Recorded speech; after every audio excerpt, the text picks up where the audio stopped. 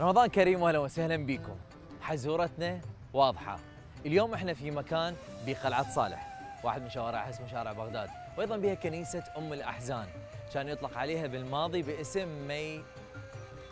راح أقربكم كل شيء أعتقد عرفتوا إحنا وين. إذا عرفتوا كتبوا لنا بالتعليقات.